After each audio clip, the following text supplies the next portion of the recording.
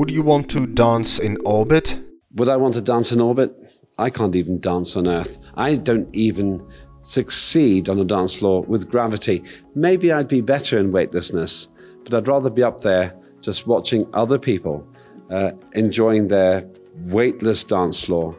Uh, the honor, the privilege of being up there, at least listening to 1980s disco music and looking down on the earth, that's enough for me.